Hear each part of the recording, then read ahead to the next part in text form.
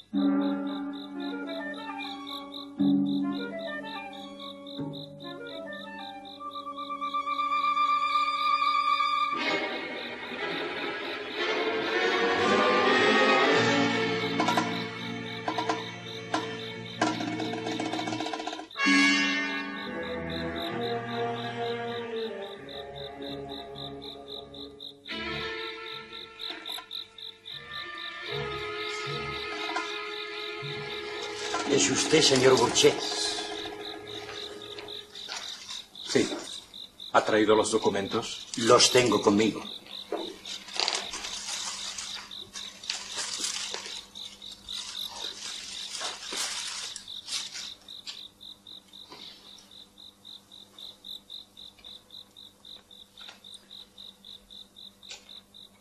He venido directamente porque...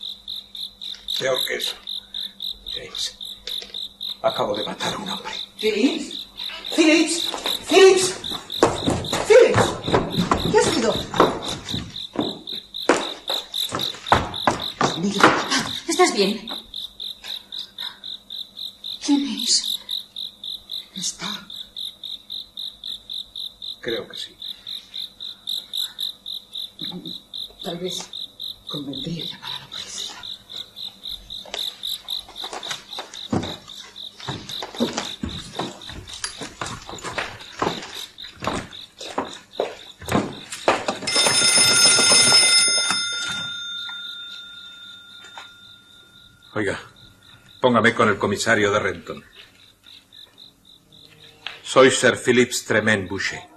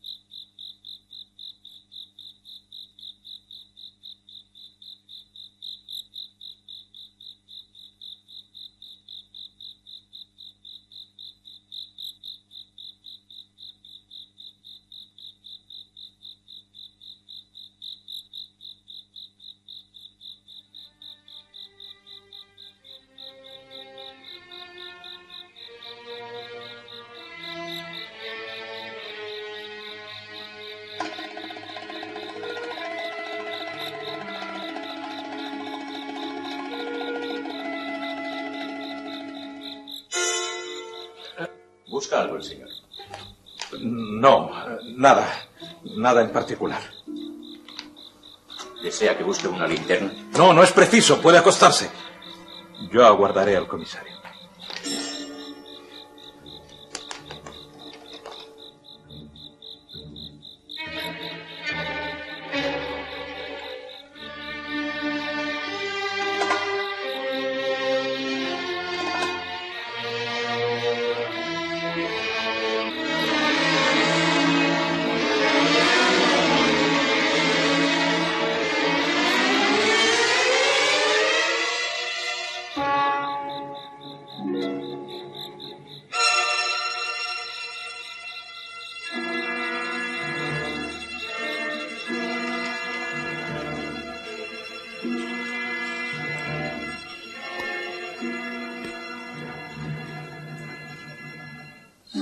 Señor John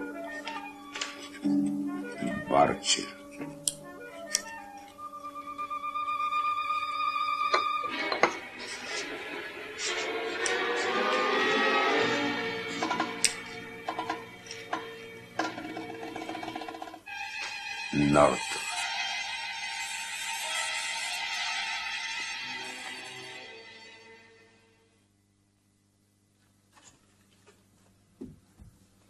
Wenders, ¿Qué es, señora Kirchner? la cuenta. Quería decir si usted lo desea. Si deseara que me presentase la cuenta, se la hubiera pedido, señora Kirchner. Eh, no he querido molestarle. Dios sabe que mi intención, por el contrario... Lo sé, lo sé. Lo que quería decirle es que me agradaría que supiese, naturalmente, sin ánimo de molestarle, que dispone de todo el plazo que quiera, de todo el crédito que necesite. Y si por un desgraciado azar, ya se sabe, esas cosas siempre pueden ocurrir, sus asuntos no marchasen como... Muchas gracias, señora Kirchner. Pero me temo que no podré aceptar su ofrecimiento. Tanto mejor, señal de que sus negocios van... Mis negocios no existen. Eh, No he encontrado en Londres el camino que buscaba y puede que en fecha muy próxima. Pero no, no pensará dejarnos. Eso es precisamente lo que estoy pensando. Aunque todavía no es seguro. Depende de algunas gestiones. Por cierto, ¿no ha visto a la señorita Francisca? Se levanta tarde. Gracias.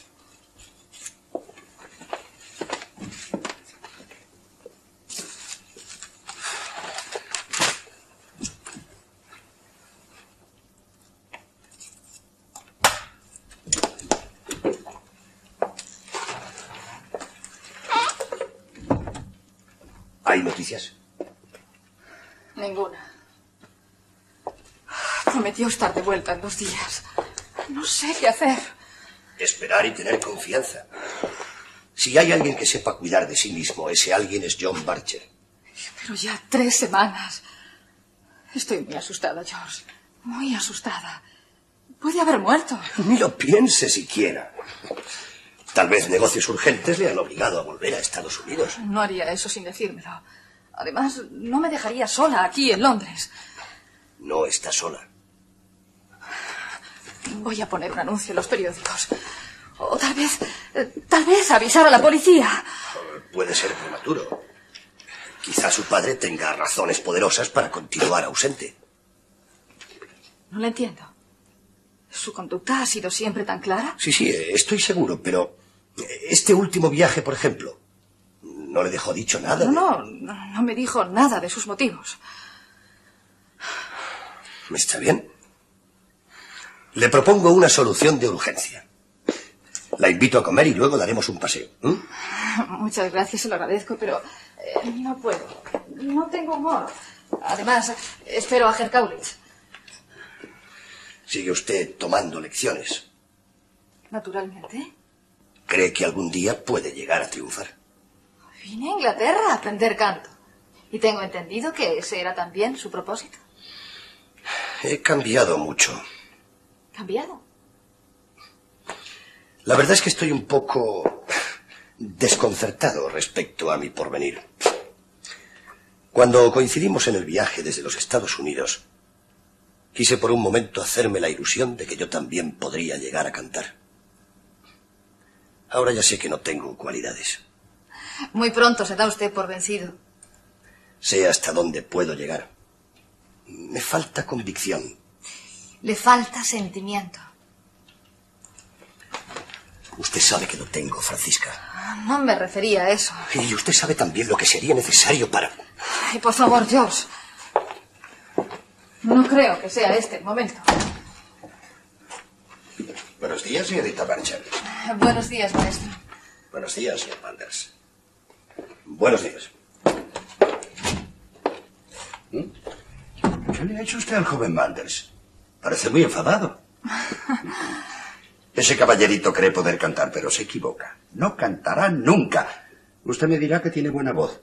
Pero, mi querida señorita, ¿qué es la voz? Nada.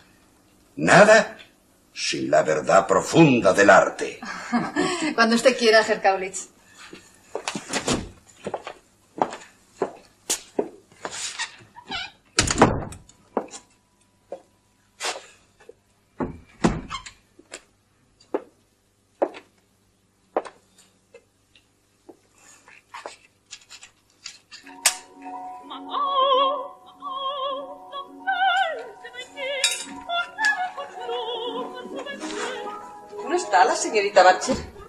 Es evidente que no. ¿Correo? Acaba de llegar. Déjeme. Yo se lo daré. No sé si debiera, pero... Bueno, tratándose de usted.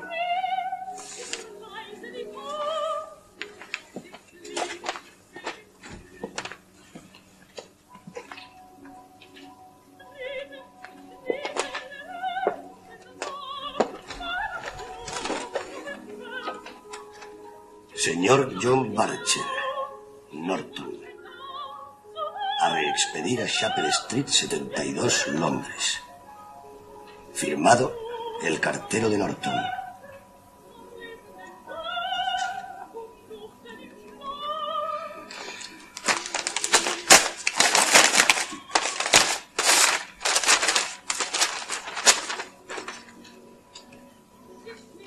Muy señor mío.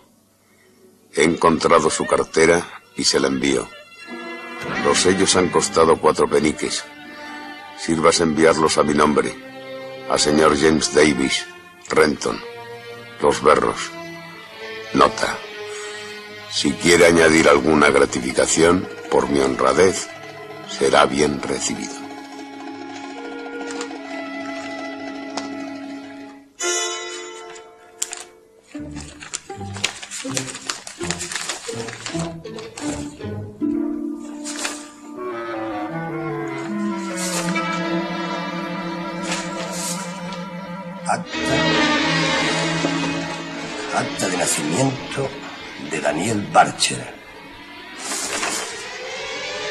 Acta de defunción de Daniel Barcher.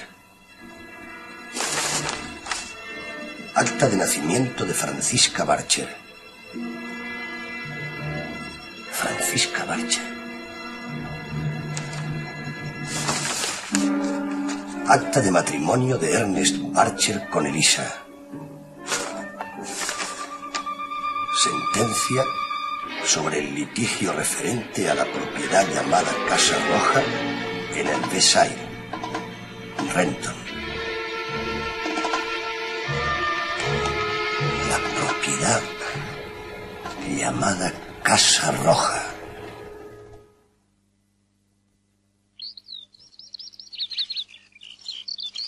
Yo que usted iría por la otra puerta. Siguiendo la tapia, la encontrará usted enseguida. ¿Es esto lo que llaman Casa Roja? La misma. No pretendía entrar, solo curioseaba. Mm, tampoco se lo aconsejo. No le he pedido su opinión. Bueno, no, no, no, no, tiene por qué enfadarse. Lo que quise decirle es que los criados y todo el personal están advertidos. Podría ocurrirle a usted algo malo. Bueno, claro, es comprensible. De- después de lo que ocurrió... ¿Y qué es lo que ocurrió? Ah, no. ¿No está usted enterado? Pues, ¿de dónde sale? Acabo de llegar de Londres. Estoy de paso. También los periódicos de Londres hablaron del asunto. Sir Phyllis es miembro del Parlamento. Y un ataque contra el Parlamento, pues... ¿Ser Phillips? Parece que llegará usted de la luna. Sir Phyllis Tremaine-Boucher. Él mismo sorprendió hace unas noches a un individuo que quiso atacarle con una navaja. ¿Y sabe usted por dónde entró? Pues precisamente por, por esa puerta. Un ladrón. No, no lo parecía. Acababa de llegar en la estación y se supo que anduvo preguntando por Casa Roja. Quien lo vio asegura que parecía un hombre honrado. Pero hoy en día, en los tiempos que corren, pues, ni siquiera el rostro de las personas... ¿Se conoce el nombre del asaltante? ¿Qué, de- de- ¿Del muerto? No, no, no, no, no llevaba nada encima que pudiera identificarle. Eh, Luego dejaron el cadáver sin darle tierra durante unos días en espera de que alguien lo reconociera. Ya después, el propio Sir Phyllis le hizo enterrar.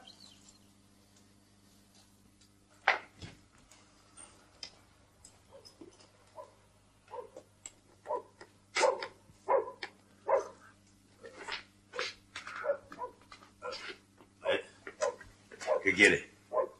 Sabe que tiene un buen escondite. Puede que algún día necesite un refugio así. ¿Qué? ¿Quién es usted? ¿El señor Davis? No, yo soy Jim Davis. ¿El señor Davis? Sí. Puede que sea yo, en efecto. ¿Qué desea? Me escribió usted una carta. ¿Una carta yo? ¡Ah! Se equivoca. ¿No es usted el señor James Davis? Una carta.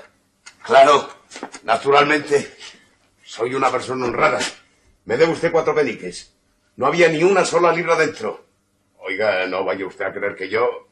No sé si alguien se la encontraría antes. Lo sé. No había dinero dentro.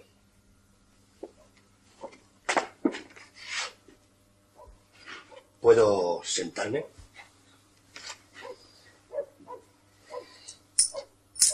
Aquí tiene usted sus cuatro peniques. Y cinco libras más por su honradez. ¿Cinco libras? Son suyas. ¿Qué pretende? Ya se lo he dicho. Premiar su honradez. No. No le entiendo. Míreme. Mire a su alrededor. ¿Cree usted que viviendo así puedo ser una persona honrada?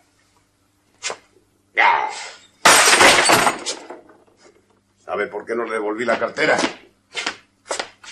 Porque me parecía demasiado peligroso quedarme con ella. Demasiado tonto el tirarla por ahí sin obtener algo a cambio. Y no quería devolvérsela a Sir Phyllis porque me hubiera hecho encerrar, pensando que la había robado. ¿Sir Phillips? Eso he dicho.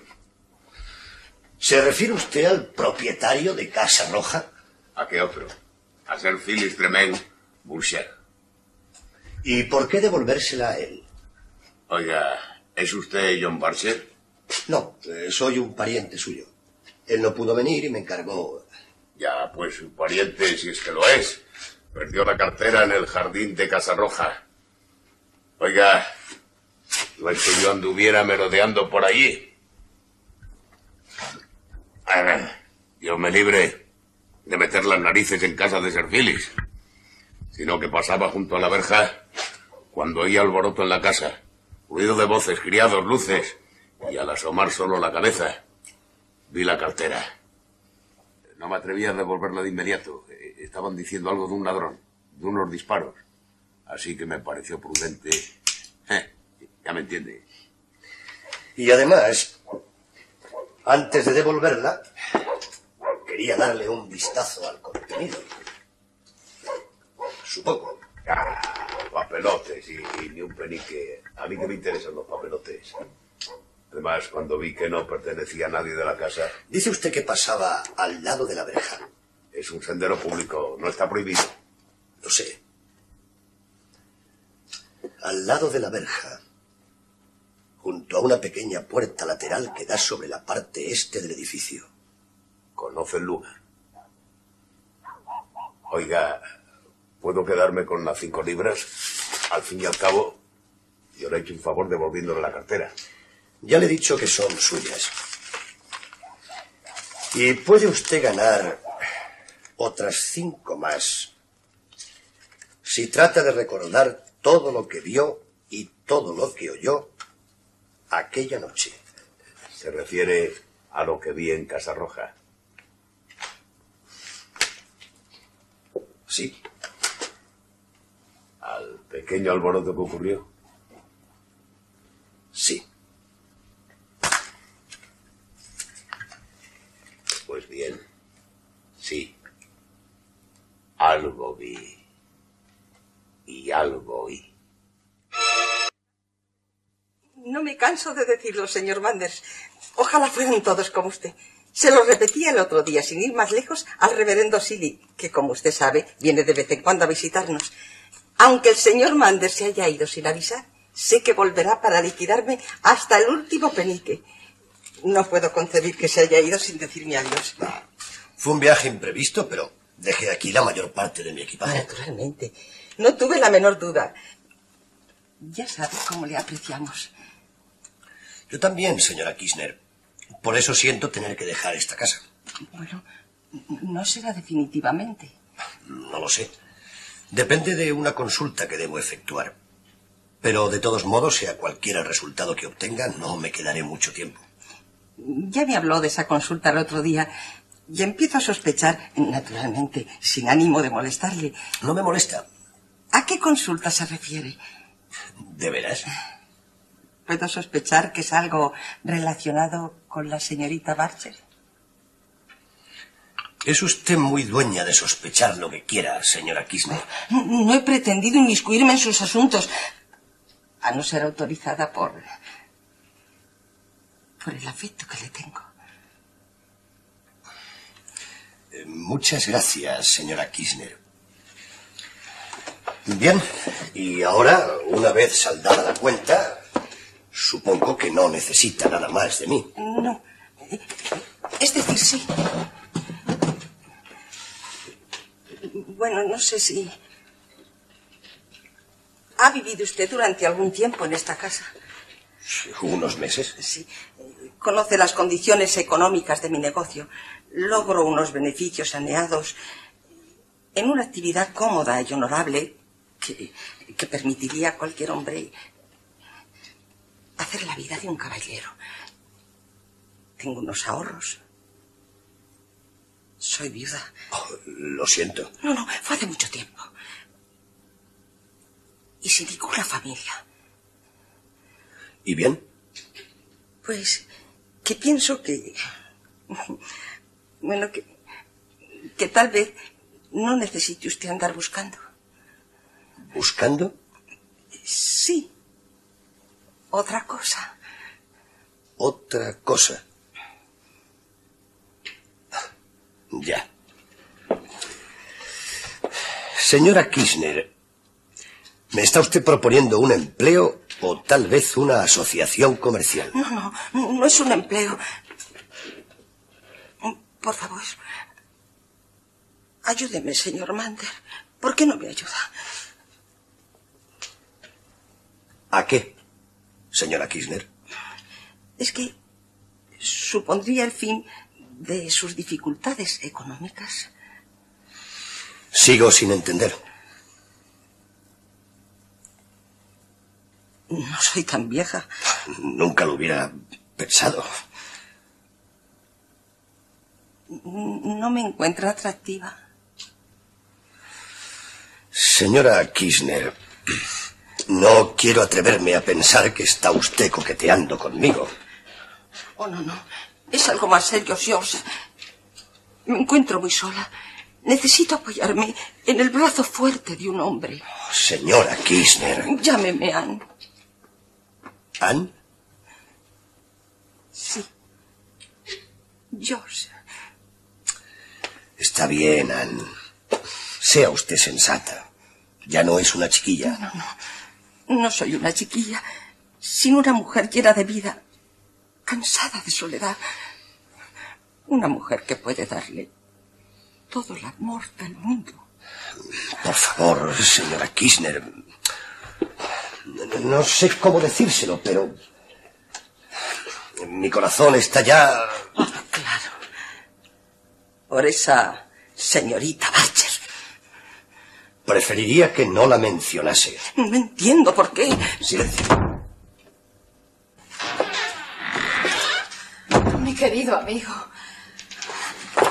¿Ha averiguado usted algo? Me refiero a noticias sobre mi padre. Porque ese era el motivo de su viaje, ¿no es cierto? En fin, lo siento, señor Manders. Me hubiera gustado tenerle más tiempo con nosotros. Lo sé.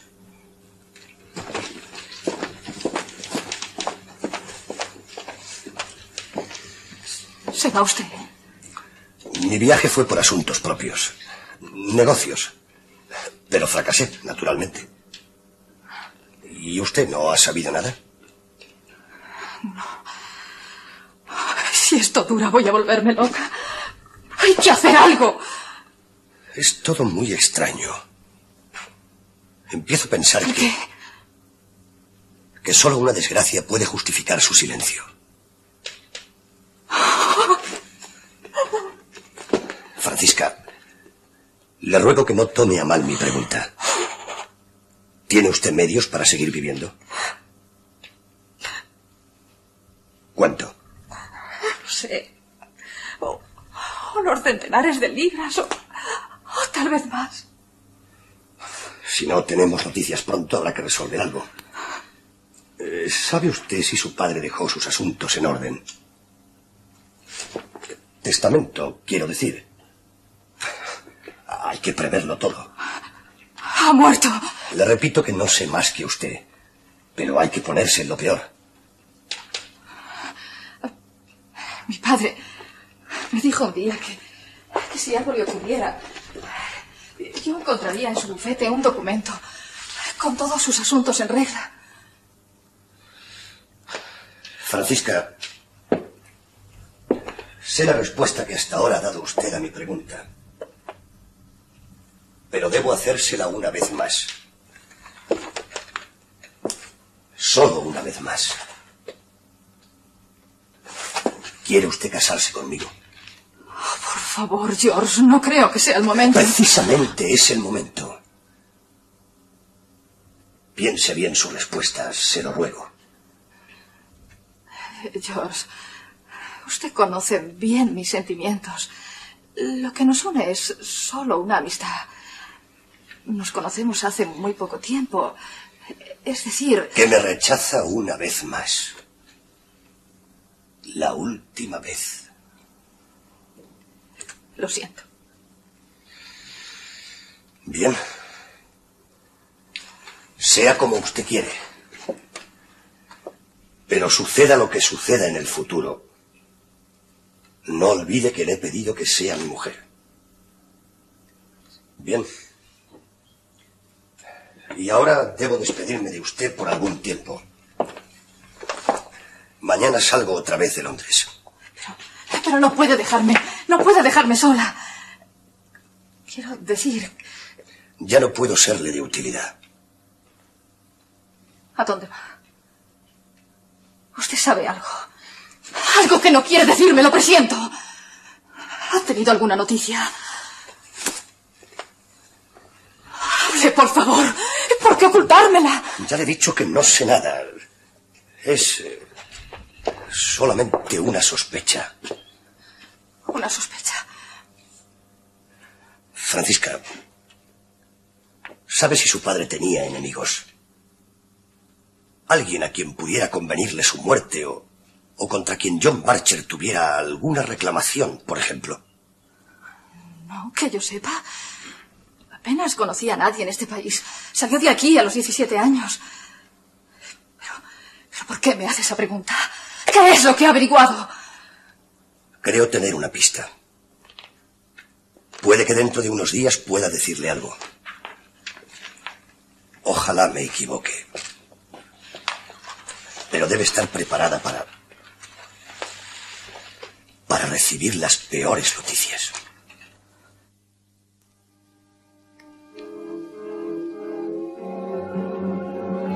Querida amiga, ha sucedido lo peor, lo que yo sospechaba.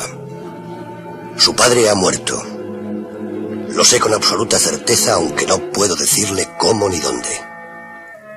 No pretendo que comprenda usted las razones que tengo para ocultarle parte de lo que he averiguado. Pero se convencerá de que me impulsan motivos poderosos.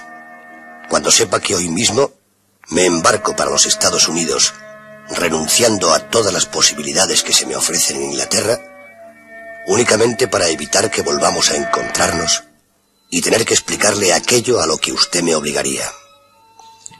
Al conducirme así, creo servir más eficazmente sus propios intereses. Quizá no volvamos a vernos nunca, pero permítame recomendarle que no trate de investigar la muerte de su padre. Solo serviría para aumentar su dolor. Suyo, George Manders.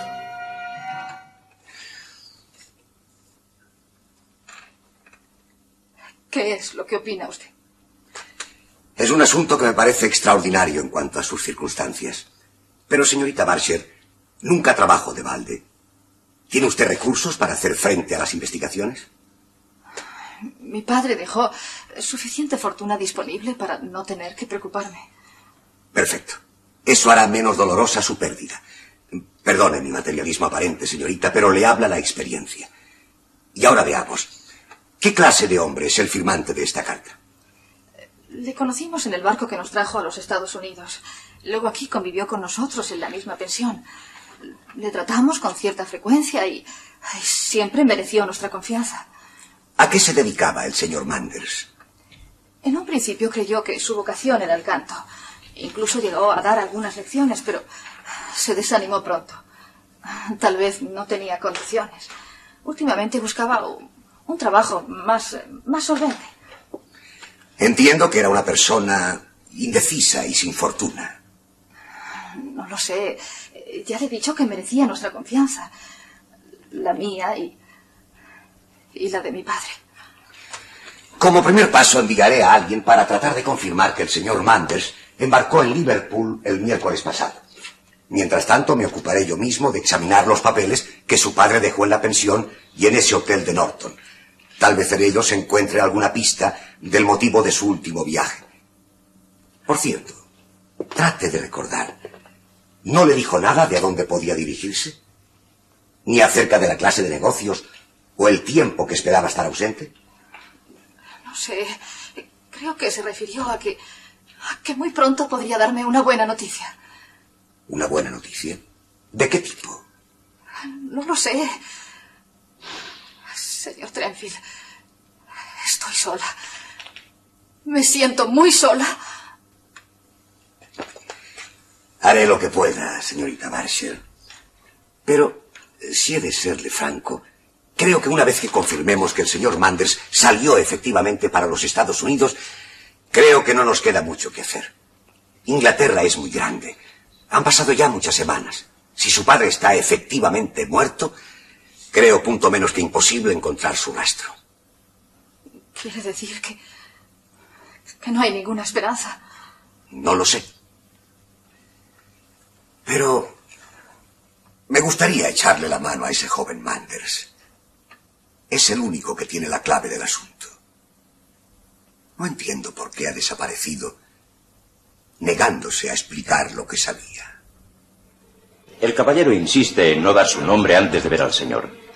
Dice que se trata de un asunto muy reservado. En ese caso no le recibiré. No quiero saber nada de personas sin nombre. Bien, señor.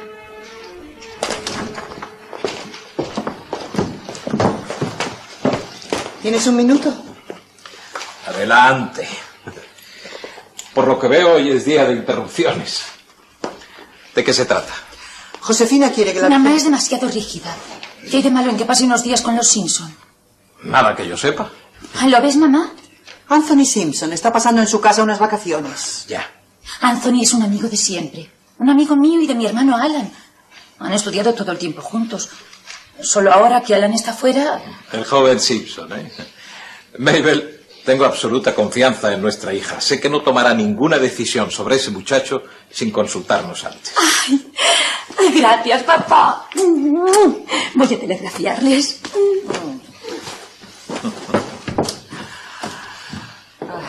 ¿Algo más? Me parece que eres demasiado blando con nuestra hija.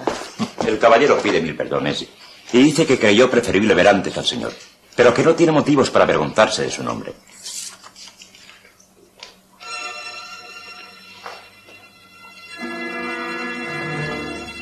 ¿Ocurre algo, Phillips?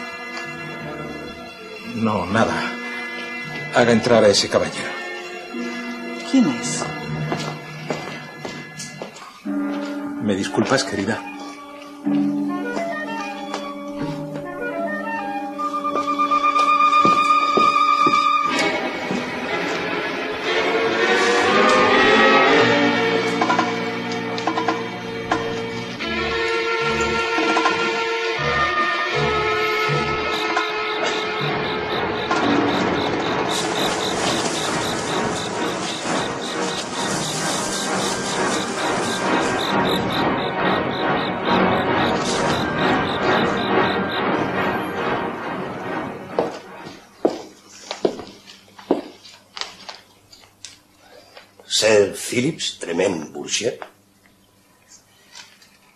Daniel Bourget.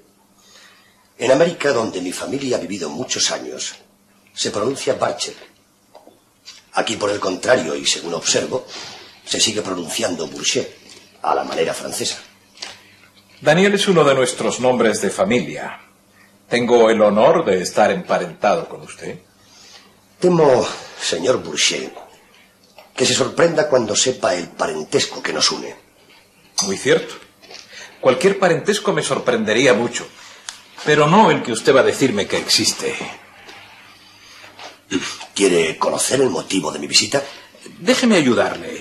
Me equivoco al suponer que va usted a decirme que es hijo de Jean Boucher, el cual es a su vez dueño legítimo de todas mis propiedades, incluida particularmente esta finca. Tengo documentos que prueban esa legitimidad.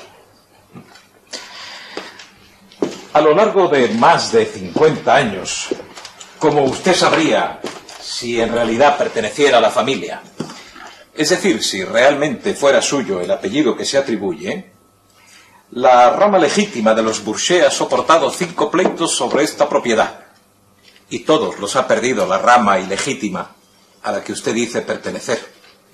Insisto en que poseo documentos que prueban la legitimidad del nacimiento de mi abuelo. He oído decir eso muchas veces sin ningún resultado práctico, a no ser el de renovar periódicamente el pleito, de modo de que no prescriba el plazo en que deban dejarme tranquilo de acuerdo con la ley. Permítame que le diga, antes de darle los buenos días, que me complace mucho ver en tan prósperas circunstancias a un miembro de la rama ilegítima de mi familia. Le confieso que no dispongo de excesivos medios, pero unos cuantos meses me bastarán para ponerme en el lugar que usted ocupa hoy, porque no dudo que está usted enterado de la muerte de mi padre. Lo siento. Su padre, por lo que he oído decir, era un hombre demasiado discreto para malgastar su hacienda en pleitos inútiles. No sabía que hubiese muerto. Sí. Hace muy poco tiempo. Yo soy ahora el titular de los derechos sobre Casa Roja. Si lo desea, puedo mostrarle documentos que lo acreditan. No es preciso. Le creo. Su palabra vale para mí tanto como esos documentos. Vuelvo a repetirle que tengo en mi poder el certificado de matrimonio de mis bisabuelos. Y vuelvo a repetir que le creo. Pero puesto que usted afirma que Jean Bourget ha muerto, esas certificaciones carecen de valor. Sé positivamente que el padre que usted se atribuye no dejó hijo varón alguno. Está usted en un error. Yo le debo... Basta ya, me cansa su impostura. ¿Qué va usted a hacer? Mi criado le acompañará a la puerta. ¿Sabe? ¿Sabe que puedo arruinarle? Despida a ese criado cuando llegue.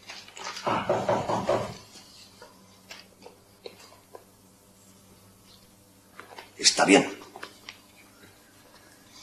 Acepto que soy un impostor. John Barcher no dejó hijos varones. Lo sabía. ¿Se lo dijo él mismo?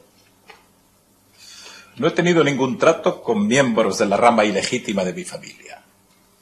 ¿Nunca? Señor Bourget. ¿No vio nunca a John Barcher? ¿Qué quiere usted decir? Señor Bourget, he rendido mis armas. He confesado que soy un impostor. Despida a ese criado, se lo ruego. Lo que tengo que decirle le interesa. Señor. Está bien, James. eh, Puede retirarse. No es nada. Bien, señor.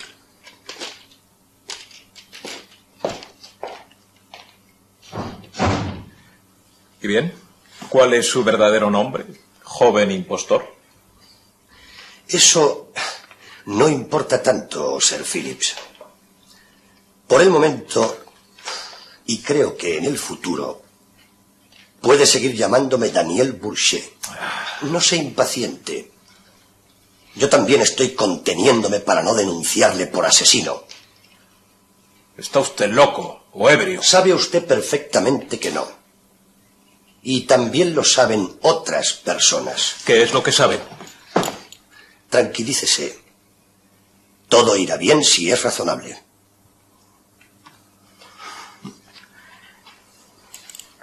Estoy perfectamente tranquilo. Tanto que no pienso soportar por más tiempo su presencia. Tenga la bondad de retirarse si no quiere que le haga echar de aquí a puntapiés. O tal vez obligarme a salir con la misma pistola con la que mató aquí a un hombre hace ahora cuatro semanas. Es del dominio público, que lo hice en legítima defensa. Pero lo que no sabe todo el mundo es que el muerto era su lejano pariente John Barcher. Es decir, no lo sabe todo el mundo, excepto usted y yo. No, señor Bourget serían demasiadas legítimas defensas, demasiados muertos en la misma casa.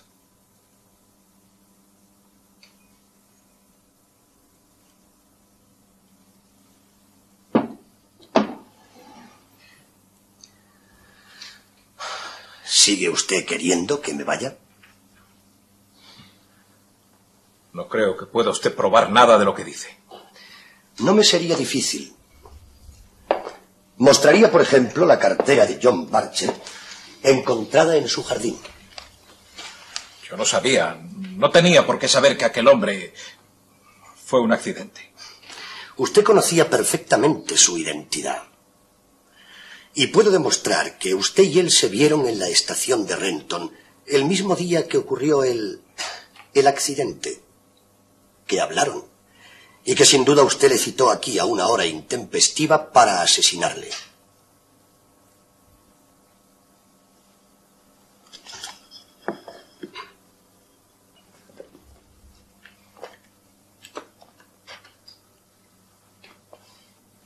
¿Cómo lo ha averiguado? John Barcher Perdió en su jardín la cartera que contenía los documentos por los que iba a ser asesinado. Alguien la encontró y la remitió a su dirección de Londres. La tengo en mi poder. Entre los documentos que contenía, la mayor parte se referían a un litigio sobre esta propiedad. Quise saber de qué se trataba y vine a conocer los lugares. Aquí por azar me enteré de la extraña muerte de un desconocido, precisamente unas semanas antes, el mismo tiempo que John Barcher faltaba de su domicilio de Londres. Empecé a pensar que ambos hombres podían ser uno mismo. En confirmar esta hipótesis empleé todos mis esfuerzos. Yo sabía que John Barcher había salido de Londres precisamente en la mañana del día en que aquí había ocurrido el el accidente, llevando un pequeño equipaje. Busqué en todos los hoteles y pensiones de los alrededores, pero el pequeño saco de piel que yo conocía también no aparecía por parte alguna. Era evidente que había llegado a este pueblo sin él. Deshaciendo el camino que podía haber seguido, di en la estación de Renton. En la consigna encontré el saco. El encargado se acordaba perfectamente del hombre que la había depositado. Más aún, recordaba haber visto a ese hombre hablando con alguien a quien todo el mundo conoce en la región. Con usted, Sir Phillips.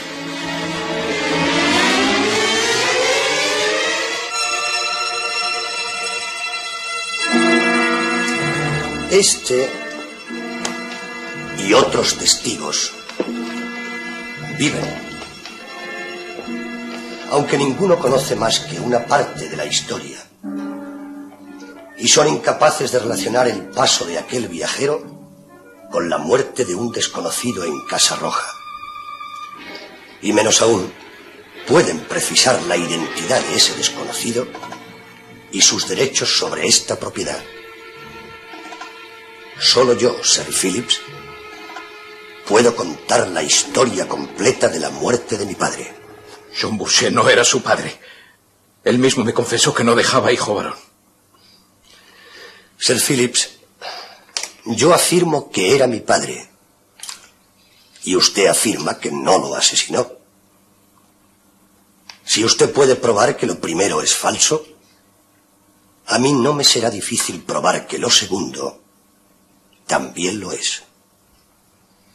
Y por otra parte, no creo que quede nadie en libertad que pueda discutir mis derechos.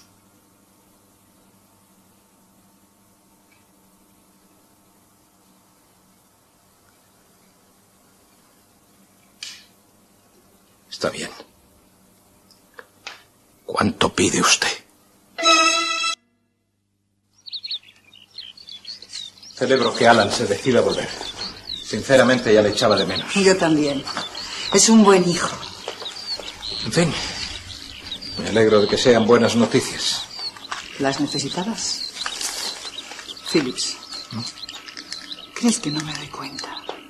No te entiendo. Estás ausente, disgustado. Algo te preocupa y precisamente desde la visita de aquel joven. ¿Sabes cómo se llama? Daniel Boucher. Me lo dijo James. Y también me preguntó si era pariente. Si debía tratarle como pariente. ¿No quieres sentarte? Creo que es mejor que hablemos.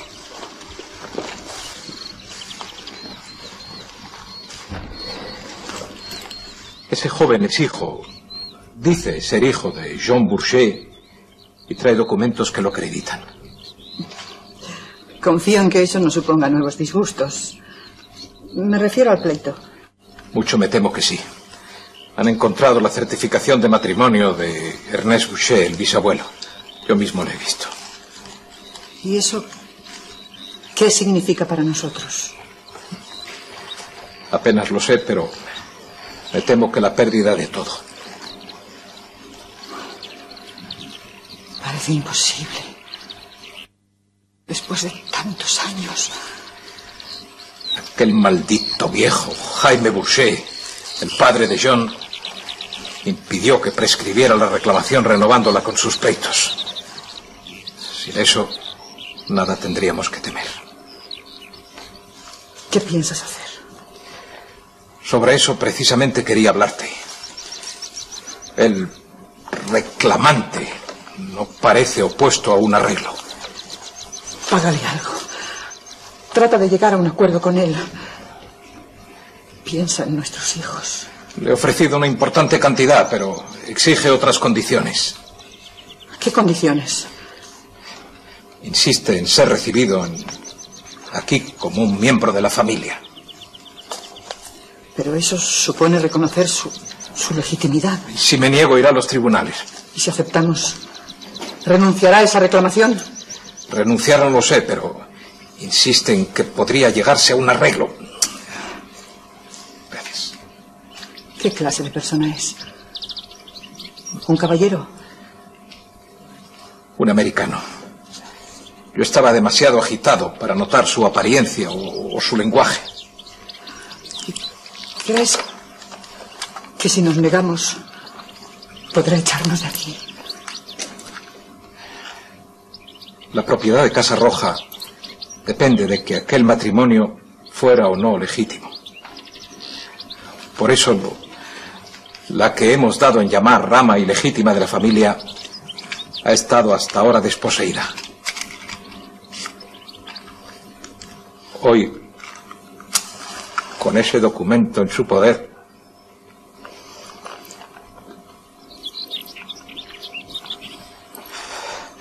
les ha llegado la hora de la revancha. No entiendo por qué ese joven Bourget se conforma solamente con ser aceptado cuando puede lograr todo. La propiedad, el nombre. Es ambicioso, pero sensato. Piensa que podrá obtener más apoyándose en nosotros que haciendo valer sus derechos a través de un pleito, de un escándalo. Aunque no me atrevería a afirmar que conozco perfectamente cuáles son sus razones. Es muy posible que hoy finja conformarse con eso y que más adelante, cuando le hayamos prestado el servicio que necesita,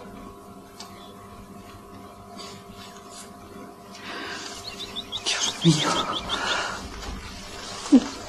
No puede haber tanta injusticia. Es nuestro. Tienes que hacer algo, Phillips. Lo único acceder a lo que me pide. Por eso le he invitado. Hoy estará ya con nosotros. Siempre le recuerdo trabajando. Sé que mi abuelo tuvo oficios que aquí no se considerarían distinguidos, pero en América es diferente. Mi padre, por ejemplo, empezó con un pequeño negocio y hasta que pudo pagarse un empleado, tuvo que hacérselo todo él mismo. Describir la vida que llevábamos en América sería fácil. Les hablaría de trabajo, de economías, vulgaridad. Más trabajo y más economías. ¿Economías para qué? Si ni siquiera se podía gastar luego ese dinero. No, no debe ser fácil comprender esa vida desde aquí. Especialmente desde un lugar como este. ¿Le gusta a usted Inglaterra? El señor Boucher no se refiere tanto al país como a esta propiedad, a Casa Roja. Me gusta mucho Inglaterra, Y también me gusta esta región. En cuanto a su propiedad, Sir Phillips, me parece envidiable. Lo entiendo. Y lo entendería mejor si conociera esa vida americana de que les hablo. La verdad es que para mí el porvenir en aquel país se presentaba bastante incierto. Siempre he creído que América era una tierra de futuro. Y lo es. Pero a mí, señorita Boucher, me agobiaba la idea de consumir mi existencia labrándome un futuro durante muchos años y que una vez conseguido no tuviera tiempo de disfrutarlo. Entiendo que los jóvenes tenemos derecho al presente, aunque esta idea pueda parecerles escandalosa. En absoluto. Josefina. La verdad es que siempre pensé que mi futuro sería solamente eso. Trabajar, trabajar y trabajar durante toda mi vida. ¿Tiene usted ahora otros planes? ¿Hace mucho que murió su padre? Muy poco, hace escasamente dos meses. ¿Y cómo? Víctima de un accidente casual. No tiene usted mal. Ni hermanas. Estoy solo en el mundo. Creo que son ustedes mis únicos parientes. Por eso le estoy tan agradecido a su hospitalidad. Les dejamos solos.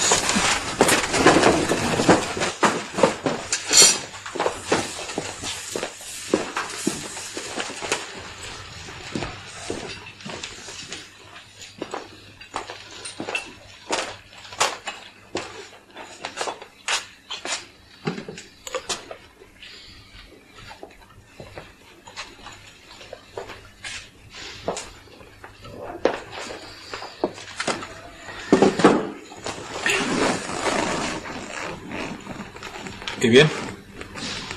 Ya está usted aquí. Le repito mi agradecimiento. ¿Enviará usted a buscar mi equipaje esta noche o prefiere que me instale aquí desde mañana? ¿Cuánto tiempo piensa quedarse? Creí que su intención era regresar pronto a Londres. Un par de semanas. Mi equipaje lo traen esta noche o mañana.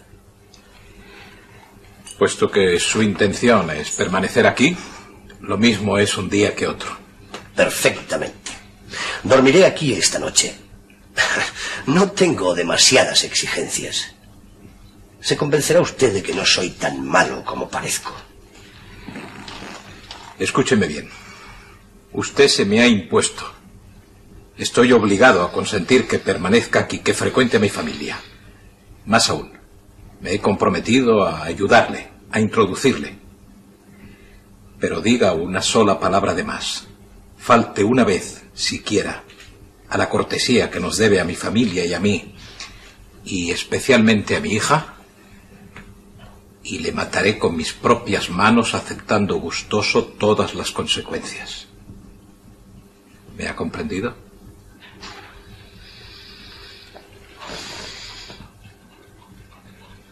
Perfectamente.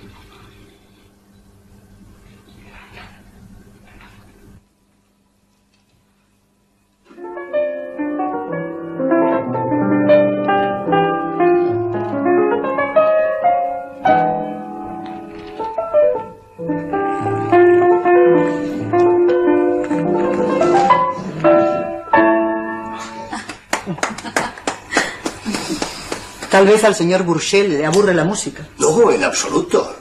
Supongo que en América no tienen ustedes muchas oportunidades. Por el contrario, hay una gran afición. A mí personalmente me encanta. Quizás sepa tocar algún instrumento. O puede que cante. No creo que tu primo, habiéndose dedicado al comercio. Oh, me gusta cantar, aunque no lo hago demasiado bien. No obstante, si ustedes quieren, lo haré si tienen paciencia. Sí. Si me disculpáis, tengo algunas cosas que hacer. ¿Trabaja después de cenar? Casi todas las noches. Formar parte del Tribunal de Comercio lleva mucho tiempo. Terrible tarea, la de encerrarse a sentenciar quiebras y estafas. En todas las profesiones hay deberes desagradables que cumplir. Entonces declaro solemnemente que no sirvo para trabajar. Lo único que pido es libertad y unos cuantos miles de libras al año. Con eso me conformaría y sería muy feliz.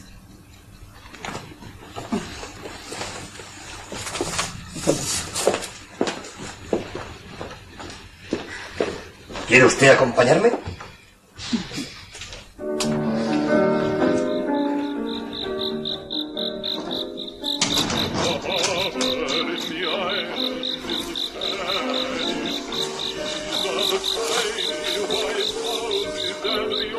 Creo que no debemos preocuparnos más. Lo he dicho muy claramente. Unos cuantos miles de libras le bastarían. A mí me ha causado buena impresión. No sé, tal vez le faltan modales, pero parece sincero. Canta muy bien. Tiene un hermoso. May, Quiero decir que, que tal vez le estamos dando demasiada importancia. Va a vivir entre nosotros unas semanas. Es ninguna tragedia.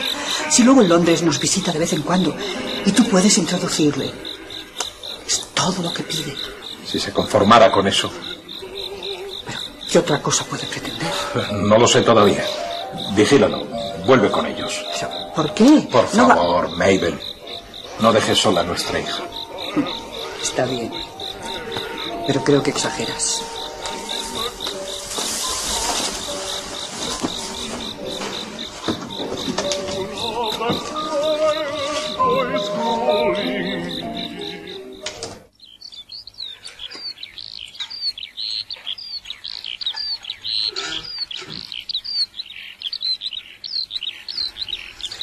Más de té? Sí, por favor.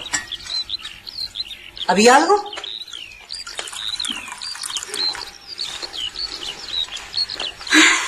Sí, había algo.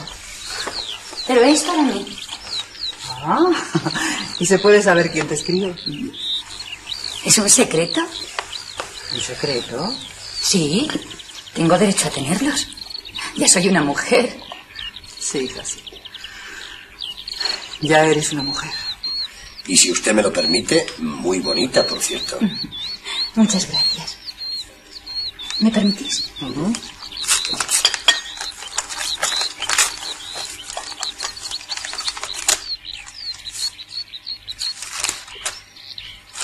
Ah, ya me extrañaba. ¿El qué? Que Alan no me escribiese. ¿Es de Alan? Sí.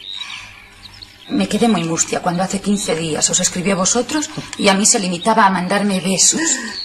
¿Y qué te dice? Que vendrá muy pronto. Ay, y que me trae cosas de todos los sitios donde he estado. Ay, también os trae a vosotros algo. Señora, Sí, James. Lady Harold al teléfono. Ahora me pongo. Bien. Perdonadme un instante.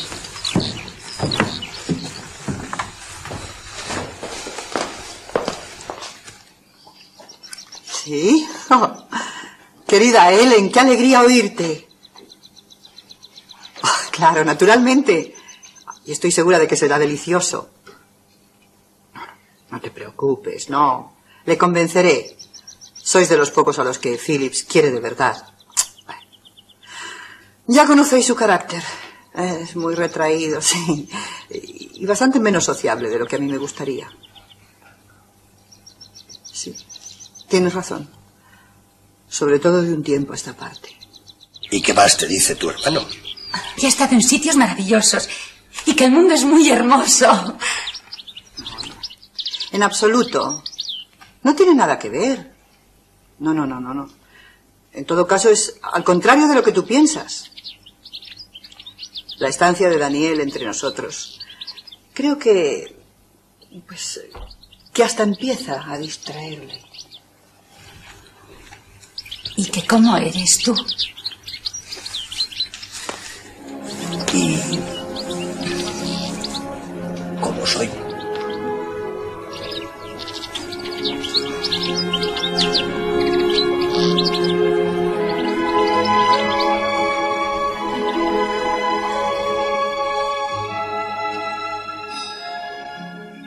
Hermanos, querida. No puede Te confesaré, nunca hemos pensado en ser. No, te diré, sin embargo, que el muchacho me parece muy simpático. ¿Y por qué no? Hasta atractivo. Un poco demasiado popular, es cierto, pero simpático. Es afectuoso y sencillo. Te confesaré que hasta mi marido, que en principio le miraba con cierta prevención, me parece que se ha dejado ganar por sus buenas cualidades. No entiendo por qué Phyllis pudo tener escrúpulos. Ya sabes. Un pariente pobre que surge de pronto de la nada, con la pretensión de que se le reconozcan todos los derechos. ¿Qué derechos? Mujer, me refiero a los derechos de hospitalidad. Trato igual que a nosotros. Ah, tonterías, querida Maybe. Tu marido ha sido siempre demasiado exclusivista. Anthony me lo comentaba precisamente el otro día. Por cierto, que vuestro pariente le encantó. Y también a los Royal. Si vieras cómo reía con aquella graciosa historieta yankee. ¿También a los Royal? Creí que te habías dado cuenta. Vuestro primo se ha ganado a todo el mundo, especialmente a los Royal. Sí. El primo Daniel es un joven muy agradable. Tiene algo, efectivamente. Alejémonos un poco. No me gusta sentirme observada como un pez dentro de una pecera. A mí la anciana señora Walsh me resulta simpática. Es un poco cotilla, pero simpática. Y ella te paga con la misma moneda. La verdad es que en menos de dos semanas te has ganado la voluntad de todos. Ese hubiera sido mi deseo. No te entiendo. Quiero decir que, que no estoy seguro de contar con el aprecio de algunas de las personas que más me interesan. No salgamos del jardín. ¿Por qué? Lo prefiero. Sir Phillips está en casa. Ah, sí, supongo que sí. No quisiera disgustarle. ¿Por qué habrías de disgustarle? Si nos alejamos, Daniel, no logro entenderte. él quiere que estemos donde se nos pueda vigilar. Nadie nos vigila. Tú misma lo has dicho antes. Te he dicho que me sentía observada, eso es todo. Mi padre tiene confianza en mí, si eso es lo que te preocupa. Pero no en mí. ¿Por qué lo crees? Daniel, ¿qué te ocurre? A veces se diría que le temes. ¿Por qué? Te he dicho que todos te apreciamos. Daniel, ¿sabes qué? Sí, lo sé, lo sé. Sé que cuento con tu amistad, que es para mí lo más importante. Pero hay otros. ¿Mi padre? Ah, es su carácter. Frío, muy raro. No le conoces. No, no le conozco. Pero estoy seguro de que Sir Phillips no me aprecia. Exclusivamente me tolera. Más aún, me mira con extraordinaria desconfianza. ¿Por qué dices eso? Es evidente. Además, tiene sus motivos.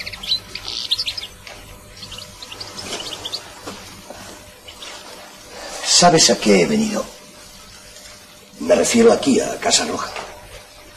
Supongo que a conocernos. No. Vine a sacaros de esta casa. A reclamarla como mía. A hundiros en la miseria. No entiendo. Pero ahora ya no pienso nada de eso. Te digo que no entiendo. Expulsarnos de aquí a nosotros, a los Boucher. ¿Conoces la historia de la rama mayor de nuestra familia? La larga serie de pleitos que mi abuelo... Sí, algo he oído hablar. Pero tengo entendido que los tribunales fallaron siempre a favor de mi padre. Hasta ahora. En favor de tu padre y en contra de la rama bastarda. No he querido decir. Ya no me importa escucharlo. Porque ahora, precisamente ahora, se ha demostrado la legitimidad de esa rama. Sigo sin entender. El origen del litigio fue porque el matrimonio de Ernest Barcher nunca pudo ser probado y por tanto todos los bienes de la familia pasaban a los herederos de su hermano menor, Charles Barcher, padre de Sir Phillips. Ahora se ha encontrado el registro de la parroquia y el certificado de ese matrimonio está en mi poder. Con esa prueba se anula todo lo que los tribunales han sentenciado hasta aquí. Lo que me favorece naturalmente. Y mi padre sabe todo eso. Se lo dije el primer día. Ahora entiendo la causa de su prevención hacia ti. Y no puedo reprochárselo. Es imposible sentir cordialidad hacia una persona que tiene el propósito, que tenía el propósito de despojarle de todo lo que poseía. ¿Tenía? Eso he dicho. Pero ahora ya no pienso en eso. ¿Sabes por qué?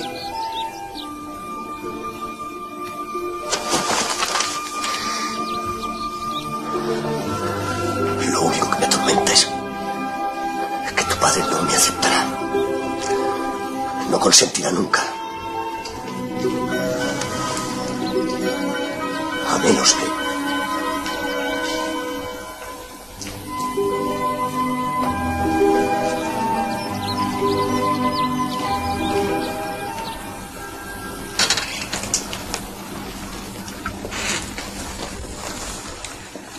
Buenos días, querida.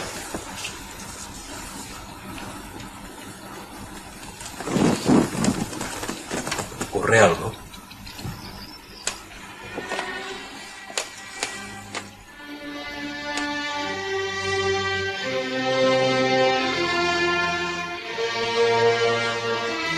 Queridos padres, cuando recibáis esta carta, el primo Daniel y yo nos habremos casado en Londres.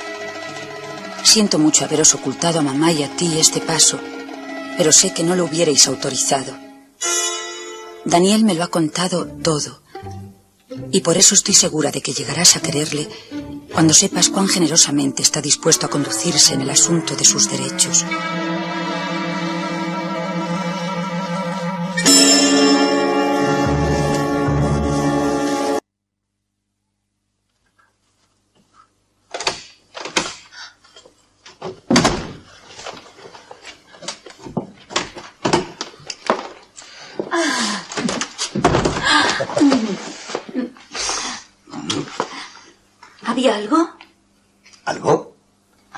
El buzón.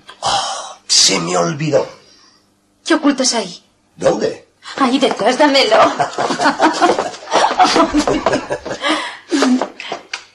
¿Carta? Ah, ah. ¿De casa? ¿De quién? De tu padre. Ay, gracias a Dios. Eso quiere decir que está mejor. Tal vez nunca estuvo demasiado enfermo. Sabes que sí. Las cartas de mamá. Ah, exageraban. Quería decirnos, ¿veis lo que habéis hecho? ¿No la abres?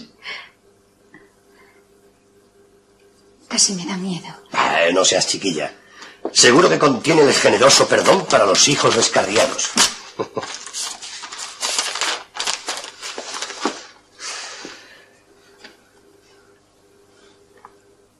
La escribe él mismo. Ya está del todo bien. No. No trata muy cariñosamente a su nuevo hijo. Ya le conoces. ¿Irás a verle? Imposible desobedecer. Es casi una orden al señor Daniel Bourget para que vaya a visitar al firmante a su domicilio de Casa Roja en el Besaire. Es su forma de ser. Pero está deseando abrazarnos. Tal vez a ti. Quiero verle. Y también abrazar a mamá y, y tener noticias de Alan. Debe haber escrito. Además, necesito un montón de cosas. Todo lo dejé allí. No tengo casi nada que ponerme. Echas de menos tus cosas. Tu mundo anterior. ¿Estás arrepentida? He sido muy feliz. Y ya no lo eres. Sabes que sí. Especialmente ahora que sabemos que no nos rechazan. Tampoco sabemos si nos aceptan.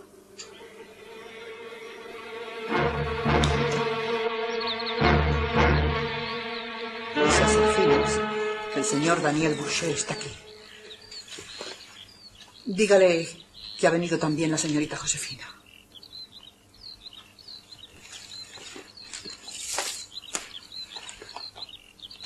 ¿Cómo está usted?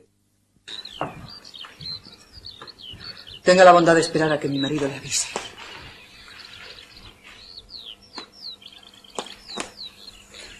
Ven, hija mía. Me alegro de verte. Estarás cansada del viaje, ¿verdad?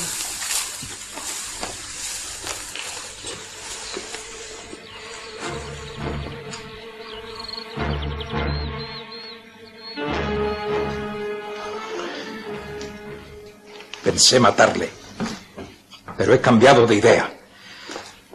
Aunque es usted un granuja, esta vez ha procedido como un necio. Pronto se dará cuenta de ello. No he venido a escuchar sus insultos. Ha venido, le he hecho venir, para hablar de la cuestión de intereses. Todavía no he pedido nada, pero podemos llegar a un arreglo.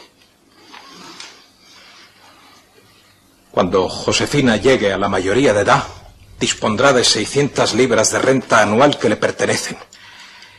El capital está invertido a nombre de ella, lo cual celebro. Eso es todo. ¿Puedo saber con qué recursos cuenta usted? Dispondré de unas 20.000 libras de renta cuando me decida a reclamarlas. Dejando eso aparte, ¿dispone de algo más? Unas 200 libras más o menos en el bolsillo.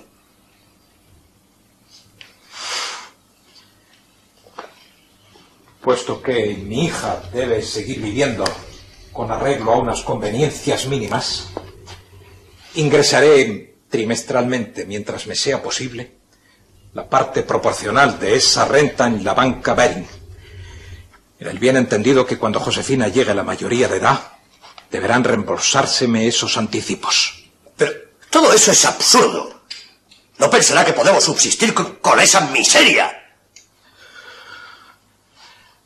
Debo añadir, por último, que mi hija será siempre bien recibida, pero que para usted las puertas de esta casa estarán cerradas para siempre. Y ahora, sírvase a retirarse. Es usted un imprudente. Sabe que puedo arruinarle. No. En esta ocasión se ha pasado de listo. Estaba usted en venta. Yo hubiera pagado un buen precio. Tal vez la mitad de mi fortuna. Pero usted ha preferido cobrarse a su manera y con ello ha perdido su fuerza. Ahora no espere que nadie crea en sus patrañas. Sabe que no son patrañas. Pero no ese es el tema de la discusión. Puede que tenga razón y en efecto me haya vendido. Pero no olvide que tengo en mi poder el precio de la venta. Su propia hija. ¡Salva! Está bien. Me marcharé. Pero no se preocupe. Aún tenemos que hablar de muchas cosas.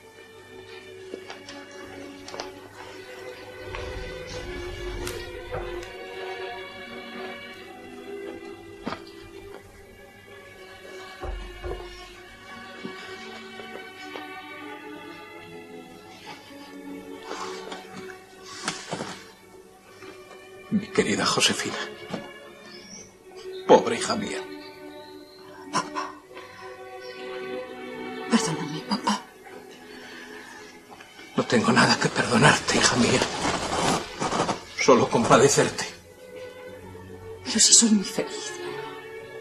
Voy a ser la más feliz del mundo, ahora que me has perdonado. Si, si tuviera que ocurrirte una gran desgracia, ¿preferirías estar prevenida o, o que cayera sobre ti de improviso como un rayo? No te entiendo, papá. ¿Qué desgracia puede?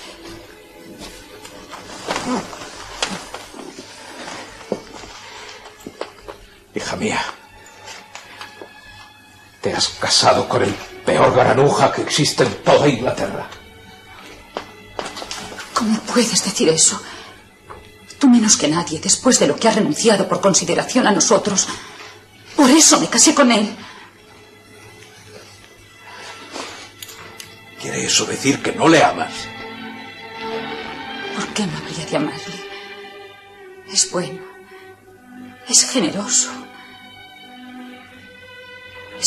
Segura de que te alegrarías de que todo se arreglase así. No puedo concebir que trates tan duramente a Daniel.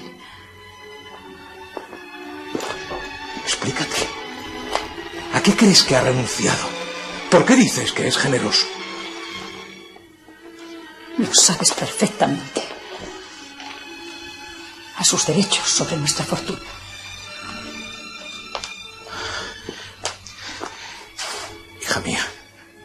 Soy tu padre. Créeme cuando te digo que ese hombre no tiene sobre mi fortuna más derecho que el último de mis criados. Por muchos documentos que te muestre, todo es una impostura.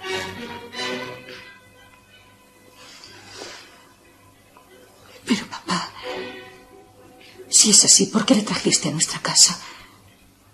¿Por qué le invitaste a vivir con nosotros? Tú dijiste que era nuestro primo.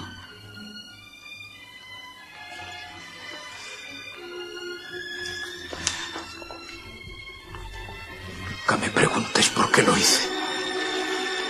No puedo contestarte a eso. Ni se lo preguntes tampoco a él, a tu marido. Tengo razones. Tengo razones para admitir que es primo tuyo. Pero su reclamación es una patraña. No puedo decirte más. No puedo.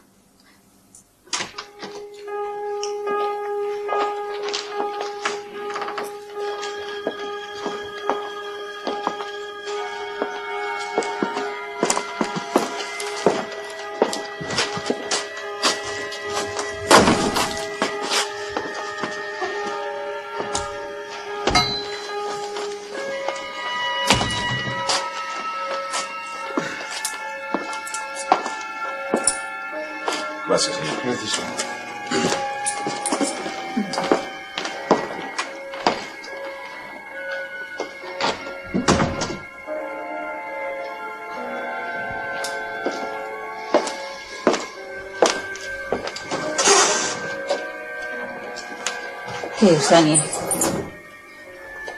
¿A qué se refería mi padre? ¿Por qué dijo esas cosas tan horribles de ti? La verdad es que no creo que debas preocuparte. Si he de serte sincero, le he encontrado un poco...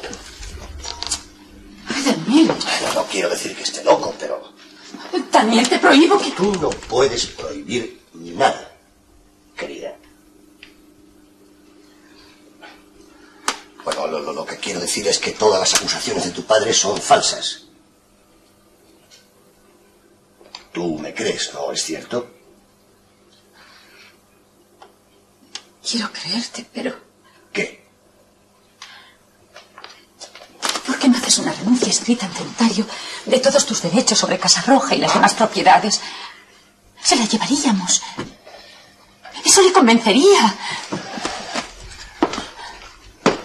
Me prometiste que... No creo que sea el momento. Además, no, no serviría de nada. ¿Por qué? No puedes entenderlo. Trato de... Mira, te ruego que no hablemos más de este asunto. Al menos por ahora. Estoy muy cansado. Daniel. Es que no puedes hacerlo. Es que no tienes nada que renunciar. Es cierto lo que dijo mi padre. Maldito viejo loco. Más le valdría estarse callado por la cuenta que le tiene. Lo siento.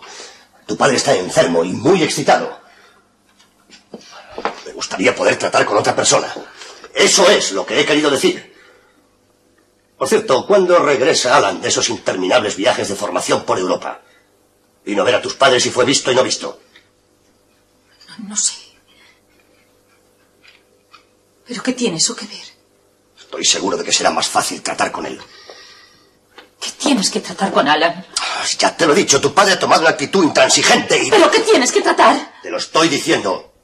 Tu padre no va a ser eterno. Alan es el primogénito y espero que sea más razonable. No podemos vivir con la miseria que nos dan.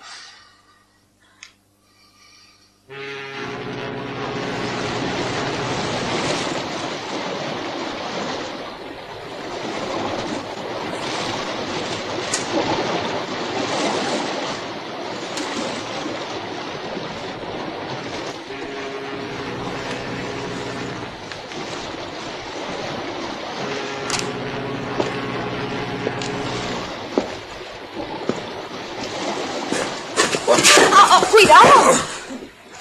Je vous demande.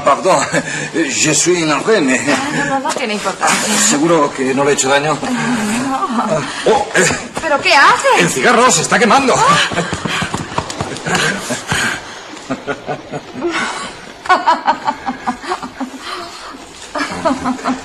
Eh, Je regrette si vous me permettez. No. Je achèterai une autre. No es necesario. Pero, ¿por qué insiste en hablarme en francés? La oí que se dirigía así a su doncella y pensé que... Ah, ¿me ha estado espiando? Ella sí es francesa. ¿Y usted? ¿Inglesa? Norteamericana. Entonces formamos una gran familia. Seguramente desciende de ingleses. Mi padre lo era. Entonces la reclamamos como nuestra. No me opongo. Estoy segura que me gustará Inglaterra. ¿No conoce usted el país? Estuve en Londres, pero solo unas semanas. No sé nada del resto, aparte de la ciudad. Anhelo recorrer los campos ingleses y conocer a la gente del pueblo. Entonces permítame recomendarle uno de los lugares más hermosos de todas las islas. El Versailles. Ajá. ¿Vive usted allí? Tengo mi casa. Es decir, la de mi padre. Yo he estado ausente durante varios años. ¿Viven sus padres? Y hasta hace poco, una hermana. Se casó. Es usted dichoso. Porque no dudo que conoce y sabe apreciar esa felicidad. Por su tono intuyo que sus padres Murieron. y hermanos. Eh, tuve uno, pero no llegué ni siquiera a conocerle. Eh, murió muy pequeño. Se llamaba Daniel. Estoy segura que para saber lo que vale una familia es necesario haber estado sola alguna vez. Cierto, pero los familiares no solo son alegrías. También hay que compartir con ellos sus penas y sus desgracias. Compártala sin quejarse. Satisfecho de saber que tiene a quienes llegado el momento sabrán comprenderle y ayudarle en sus propias desdichas. Para mí no hay mayor felicidad en el mundo la de pertenecer a una numerosa familia, donde las alegrías y las desdichas de uno son también las de los demás.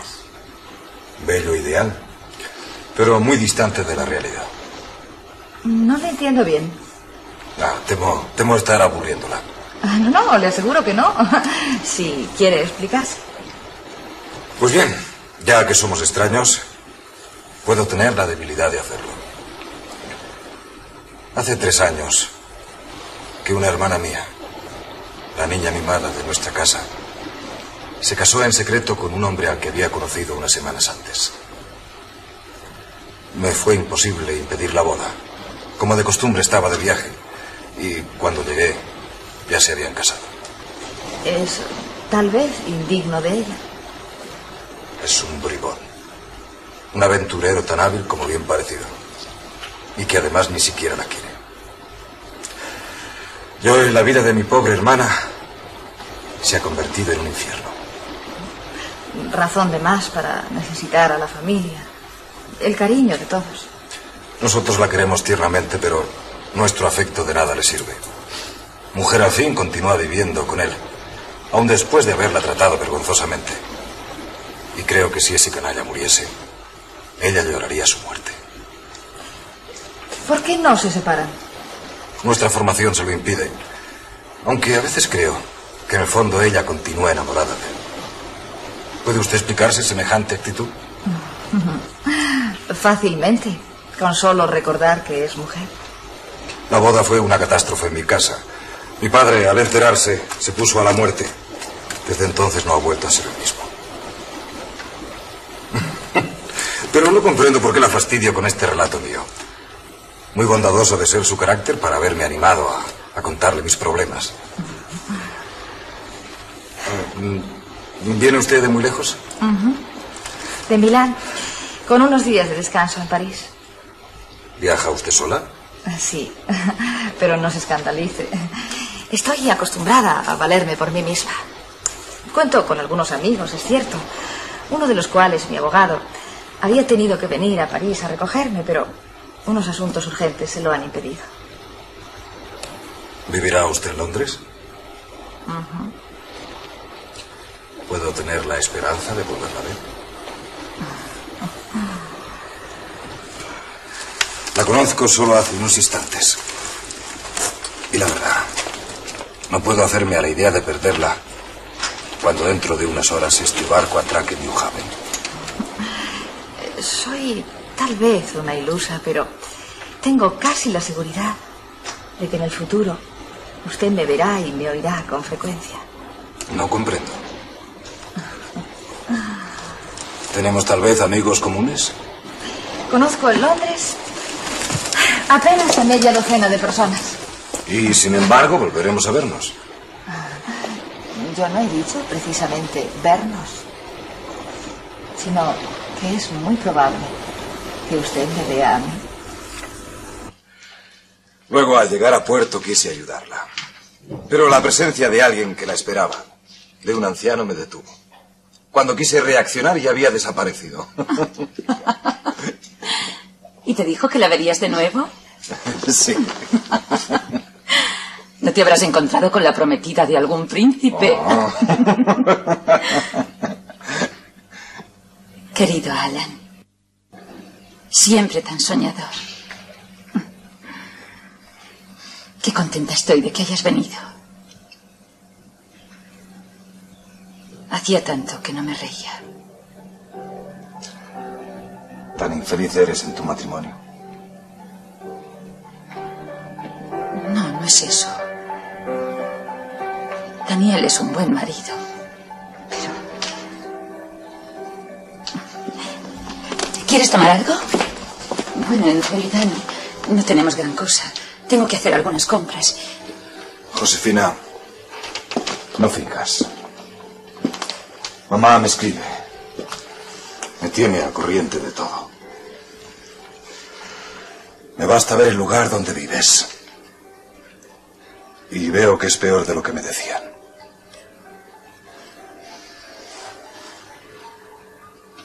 ¿Es que no tenéis bastante con lo que papá os da? ¿Por qué no trabaja tu marido? ¿Quieres que hable con él? ¿De qué tenemos que hablar, querido cuñado?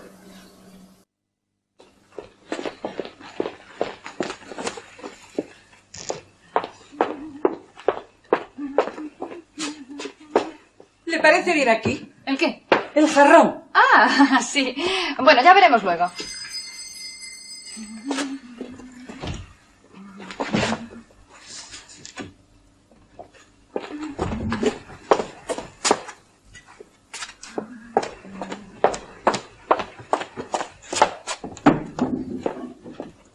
Señorita, ¿Quién era, señora Melvin? más vestidos. Por fin. Y el abogado Trenfield, si quiere recibirle. Hágale pasar. Para el señor Trenky mi puerta siempre estará abierta. Gracias, querida amiga. Gracias. ¿Cómo ha encontrado todo? Ah, Mejor que si lo hubiese buscado yo misma. Me encanta la casa, la calle, los muebles y hasta la señora Melville, que usted tan diligentemente me ha buscado. Perdón. Aunque a veces me resulta un poco testaruda. Ah. Ajá. Es una excelente mujer, viuda, honrada y pobre. Gracias. Por cierto, hablando de pobreza, no quiero alarmarla, pero esas sumas que me hizo enviarle a París eran importantes. No se preocupe por eso. Me alegra su confianza, pero no tomará a mal si le pregunto ¿El qué? su destino. ¿Destino? Sí, ¿en qué empleó ese dinero? Lo gasté, ¿eh? Todo. Naturalmente. Ay, señor Trenfield. Estuve diez días en París. Tan caros son los hoteles. ¿Los hoteles? No, especialmente. Eh, Señorita Barsher, eh, ¿se puede saber qué clase de asuntos, económicos, naturalmente, ha tenido usted en París? Porque hasta que se decida dejarme cesante por decisión expresa, yo continúo siendo su abogado y consejero legal. Es usted mucho más que eso, mi buen amigo. Pues en ese caso estoy doblemente autorizado a pedirle explicaciones. ¿Qué hizo usted con esas sumas? Señor Trenfield, ¿qué puede hacer una mujer en París disponiendo de algún dinero? Se trata de algo más que algún dinero. ¡Vestidos! ¡Muchos vestidos! Varios baúles llenos. Y más que sigue comprando aquí en Londres. Dios bendito, debí suponer. Verdaderas maravillas. Espero que tenga piedad de mí, señorita Barsher. Quiero decir que no me eche a perder a mi mujer y a mi hija. Vaya un despilfarro. Pero no es ningún despilfarro, señor Trenfield. Eh, soy como un jugador que arriesga todo en una apuesta importante. O mejor, eh, soy una mujer que invierte su capital. Ay, aunque si algo falla, si fracaso, eh, no sé qué voy a hacer con mi flamante guardarropa. Desde ahora y para esa eventualidad, se lo ofrezco a su esposa prometiéndole una gran rebaja. Inversión. No acabo de comprender, sinceramente. Sin embargo, creo que esa decisión pertenece a su esfera privada, donde no me es discreto intervenir. De cualquier modo, mi querida amiga, y sin ánimo de alarmarla, debo llamarle al orden, recomendarle prudencia. Soy yo ahora quien no entiende. Eh, Es bien sencillo. He seguido rigurosamente las instrucciones que me envió desde Milán, y aunque ha transcurrido el plazo legal para reclamar la herencia de su padre, sin embargo, la liquidación de todo lo que dejó eh, no es tan cuantiosa que le permita... Lo sé, lo sé. Eh, quizá es que no he sido muy explícita con usted en mis cartas. Eh, verá, eh, desde que salí de Inglaterra, las cosas me han ido muy bien. Canté en Nueva York, luego en Milán. Me han llegado noticias. Pero no solamente es eso. Puede que muy pronto, quizá hoy mismo, me llegue la confirmación de algo muy importante. Algo que puede ser definitivo en mi carrera. Por eso he venido a Londres. Respeto su secreto, aunque sabe mi interés por todo lo que a usted se refiere. Lo sé, y se lo agradezco. Eh, prométame no regañarme si le pregunto una vez más ¿Por aquel joven? por George Manders. Lo mismo que supimos entonces. Su pista se perdió hace tres años en Liverpool cuando embarcó para América. Si es que realmente embarcó. ¿Figuraba en la lista de pasajeros? Ya dudo de todo. Con su marcha se llevó la única pista sobre la muerte de mi padre. Yo no puedo resignarme a no saber.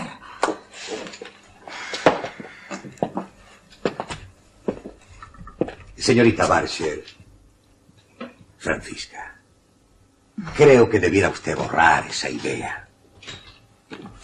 Señorita, señor Trenfield, ya es pública la noticia.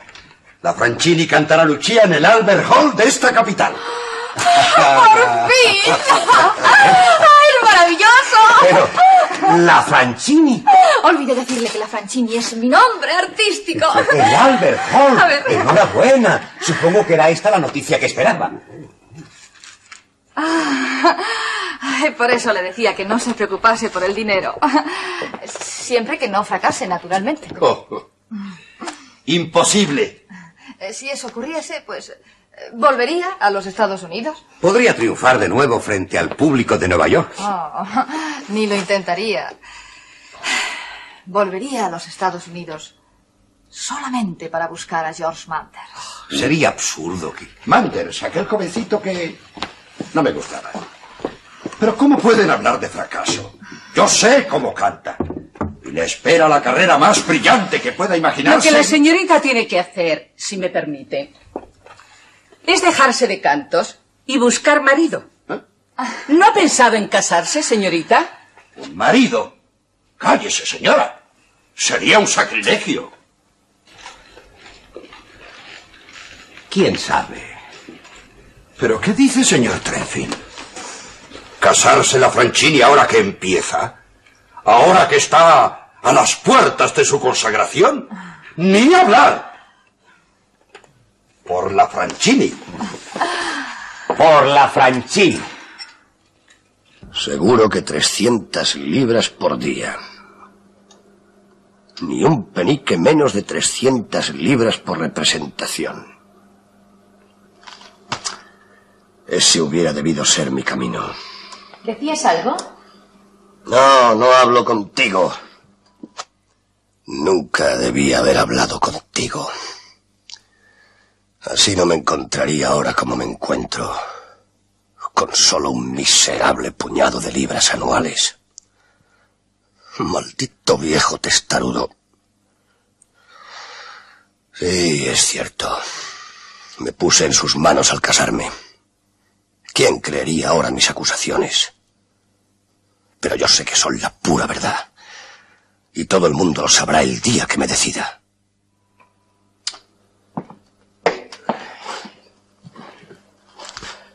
Trescientas libras por representación. ¿De qué hablas? Cosas mías no te interesan. O tal vez sí te interesan. Espera. Vamos a escribir de nuevo a tu padre. No servirá de nada. Tiene que servir. Tenemos acreedores, deudas, miseria. Devolverá la carta como las veces anteriores. No si la escribes tú. Sabes que tampoco servirá. Esta vez sí servirá. Vas a decir lo que yo te dicte. No. He dicho que esperes. Está bien. No es necesario que seas tú quien escriba. Lo haré yo, no vamos a discutir por eso. Pero quiero que sepas lo que voy a decirle. Los matrimonios deben estar siempre de acuerdo, ¿no te parece?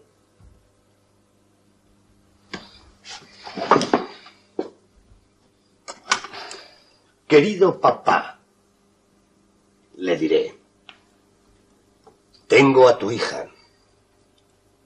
No me des más dinero si no quieres. Sigue enviando la limosna que nos das cada tres meses.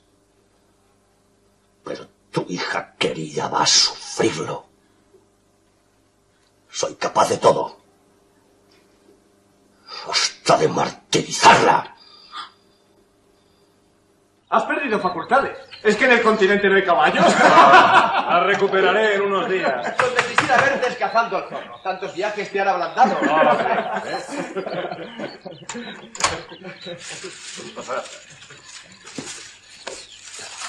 Hola. En fin, ¿cuál es nuestro plan para hoy? Ya lo he dicho, primero visita a mi tía. No cuentes conmigo. Lo siento, pero de su herencia depende mi futuro. Terminaré a tiempo de ir a la ópera. ¿Me acompañáis? ¿Qué dices, Alan? Oh, perdona, estaba distraído. ¿De qué habláis? Ópera, la Franchini. La verdad, no me atrae demasiado. ¿Desde qué hablas? Todo el mundo dice que es una mujer maravillosa. Y además, cosa extraña, una gran cantante. La revelación de la temporada. No lo dudo, pero ya sabéis que... Entonces música- decidido. Alan y yo esperaremos en el club mientras Sinclair visita a su futura herencia. Ah, no, no, no, no. Insisto en que... Ah, como quieras, como quieras, iré solo. Pero después de la representación habrá algo verdaderamente bueno. Una pequeña fiesta en casa de la misma Franchini. Copas, mujeres hermosas. Críticos, musicólogos, ancianos galantes. Eso ya me seduce menos. Pues yo a la fiesta sí iría. Por conocer ese ambiente, claro. ¿no? Está bien, iré solo. Pero después te recogeré y te llevaré a la fiesta. Disculpad.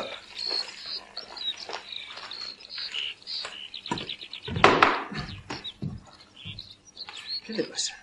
Pues no sé. Quizá la misteriosa viajera le tiene en las nubes.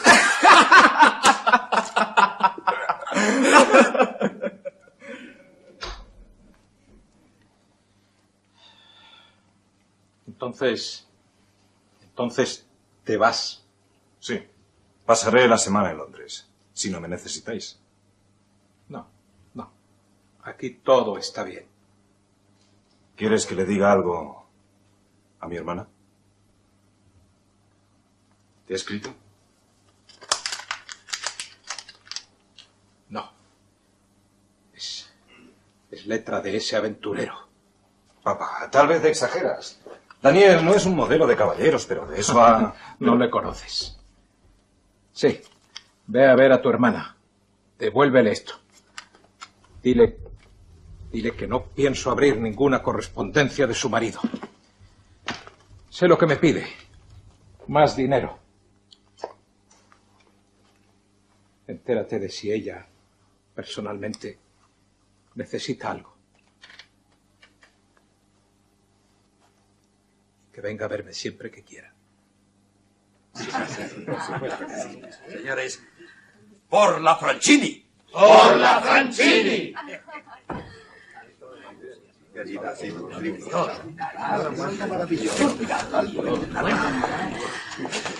Me alegro mucho de verle. Le dije que nos volveríamos a encontrar. ¿No lo recuerda? Sí, por eso nunca entendí su frase al despedirnos. Sin embargo, ¿la recordó? No la he olvidado ni un instante. ¿No me dijiste que no conocías a la señorita Franchini? Somos viejos amigos. Me alegro mucho de poder darle las gracias por sus atenciones durante el viaje. No. Felicidades, querida amiga. Se abre ante usted un espléndido porvenir. Muchas gracias. Sin embargo, no observo gran cambio en usted. ¿Y por qué habría de cambiar? Pues, no sé, el éxito tal vez. Ah, eh, puede que suene a vanidad, pero en el fondo es lo que he esperado siempre. No me pilla de sorpresa. Eh, Bueno, pero no hablemos de mí. ¿Qué es lo que hace usted en Londres? Vengo frecuentemente. Más aún, paso aquí la mayor parte del invierno. Y pienso que a partir de ahora no voy a alejarme ni un instante. Eh, me hubiese gustado mandarle unas entradas para el estreno. Ah, ¿y por qué no lo hizo? Desconozco todo sobre usted. Incluso su nombre. Su servidor, Alan Boursier. No lo olvidaré. Gracias. No sea vanidoso. No le olvidaré porque se parece mucho al mío. Francisca, amiga mía, ha sido lo más hermoso que he oído en muchos años. Es usted muy buena, señora Trentin. No. Eh, muchas gracias. ¿De qué estábamos hablando? Señorita, excelente, excelente, maravilloso. Muchas gracias. Bien, temo que debo despedirla. Eh, ¿Tanto se aburre? Sabe que no, pero estoy acaparándola demasiado. y Ah, No se vaya. Eh, Bueno, y si lo hace, prometa volver a verme. Lo prometo. Eh, Pero no al teatro. Venga a visitarme, quiero decir. Estoy siempre en casa. Cuando no estoy en el escenario.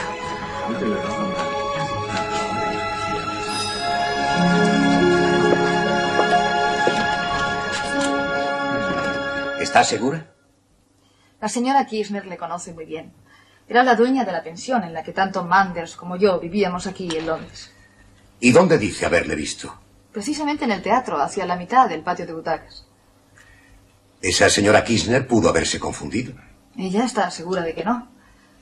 Cuando terminó la representación, se acercó a saludarle. Manders se mostró muy sorprendido. Luego fingió no conocerla y escapó de la señora Kirchner. Ella vino entonces a buscarme y a contármelo. Manders está aquí en Londres. ¿Qué me aconseja que haga? No lo sé, no veo ninguna posibilidad. Londres es muy grande, es como si siguiera en América. Podría usted poner un anuncio en los periódicos, pero creo que nadie contestaría. Estoy segura que se oculta de mí. De lo que hay que deducir que no le faltan motivos para sentirse culpable. ¿Usted cree que él... Pienso que de alguna forma se ha aprovechado de la muerte de su padre.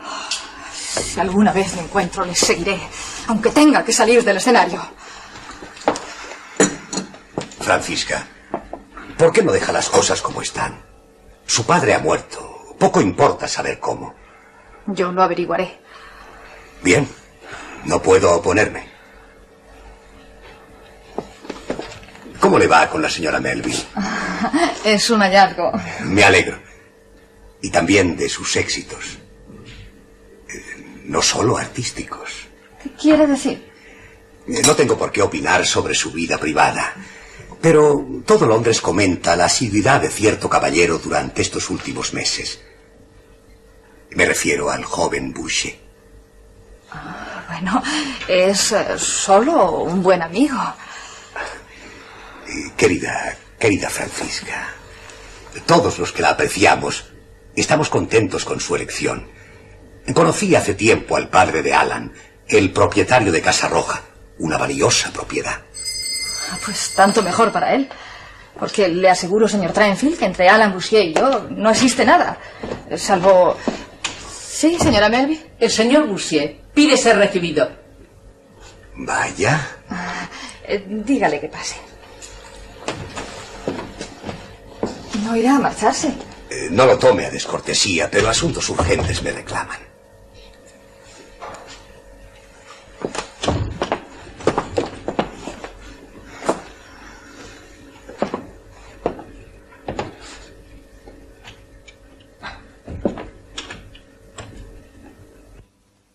¿Le ocurre algo, Francisca?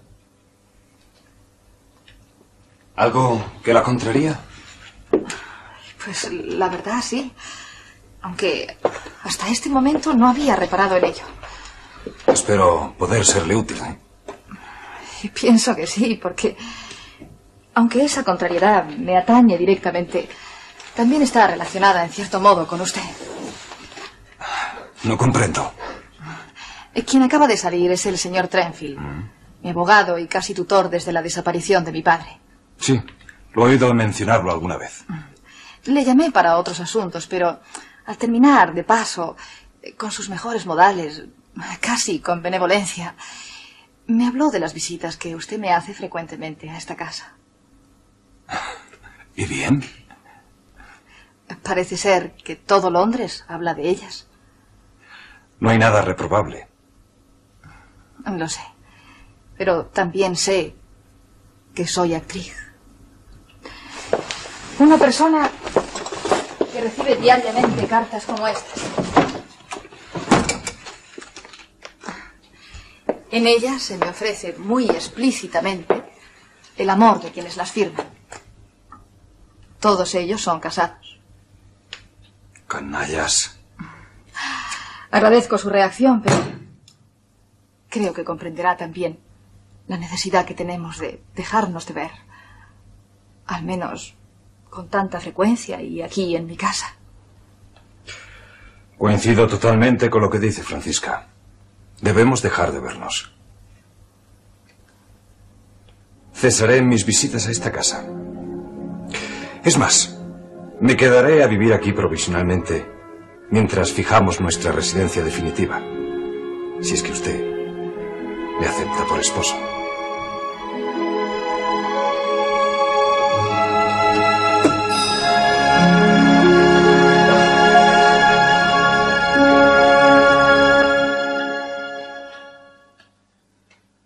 Alan, que en este asunto, consienta o no, te propones hacer tu voluntad.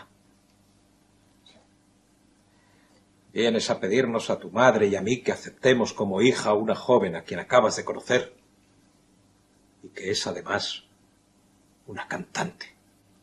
Cuando la conozcas, no te sorprenderás de mi elección. Entonces es inútil que ordene o ruegue. Espero que no lo hagas. Está bien. Puesto que no me es posible impedirlo, no diré una palabra más. En cuanto a mi comportamiento futuro para con vosotros, dependerá de las circunstancias. No las temo. Veremos. En todo caso, supongo que siempre podrás vivir con el dinero que gane tu mujer. La amo. Es todo lo que puedo decirte.